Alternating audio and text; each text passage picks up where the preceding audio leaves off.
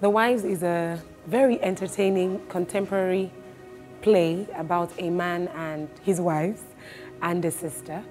Um, the play talks about family issues, love, incest, sacrifices, relationships between a brother and a sister, relationships in a polygamous family, what happens when a man dies and then he's left, you know, three wives behind.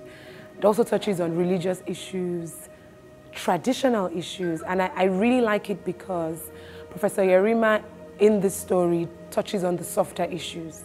Um, usually he, he touches on heavy subjects from um, Idemili to Little Drops to The Ghost. He's very, he touches on serious issues. But otherwise, it's, it's a play you want to watch, you're going to laugh, it relaxes you, and you will be entertained whilst, you know, thinking every now and again, okay, what's, what, what is this saying here and there? Yes.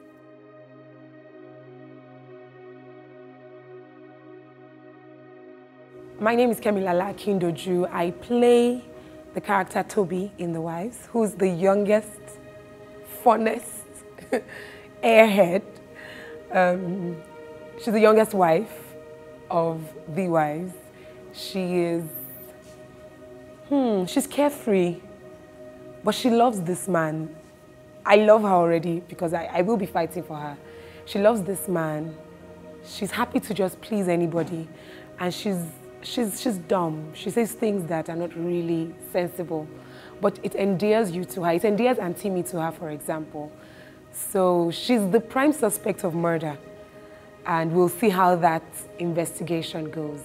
The play holds on the 9th, the 10th, and 11th of October at the Muson Center. You need to come and see Joke Silva, Kate Henshaw, Iretiola Doyle, Jide Kosoko, Toyin Oshinnaike, Adebola Williams, and myself on that stage. It will be beautiful.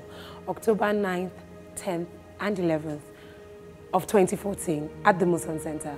Come see The Wives as brought to you by the Make It Happen Productions.